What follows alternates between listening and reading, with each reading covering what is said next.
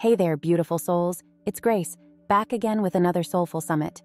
I hope you're all doing well and staying positive. Today, we're going to dive into a topic that I know can be a bit touchy for some of us how to handle forced family encounters during the holidays. Now, I know what you're thinking. Grace, why are we talking about this?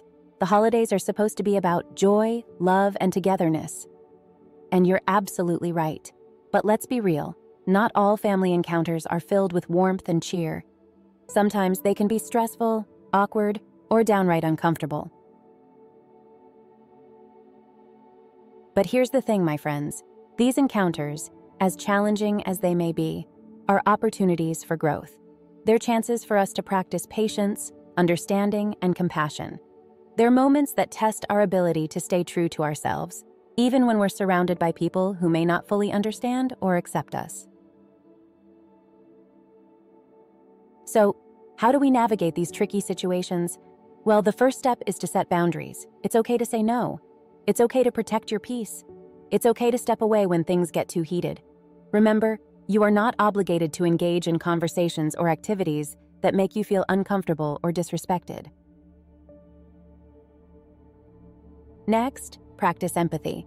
Try to understand where the other person is coming from. Maybe they're dealing with their own struggles and insecurities. Maybe they're projecting their own fears and frustrations onto you. It's not about excusing their behavior, but rather understanding it. This can help you respond with kindness and compassion instead of anger and resentment. And finally, remember to take care of yourself. The holidays can be a stressful time, and it's important to prioritize your mental and emotional well being. Take time for self care. Do things that make you happy. Surround yourself with positivity.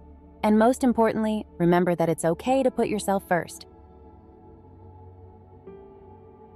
I know it's easier said than done, but remember, you are stronger than you think. You have the power to navigate these encounters with grace and dignity. And who knows? Maybe just maybe, you'll be able to turn these forced family encounters into meaningful connections. Before we wrap up, if you found this video helpful, please give it a thumbs up and don't forget to subscribe to Soulful Summit for more inspirational and motivational content. Your support means the world to me. And remember, beautiful souls, you are not alone. You are loved, you are worthy, and you have the power to create the life you want. So keep shining your light, keep spreading love, and keep being you. Until next time, stay soulful.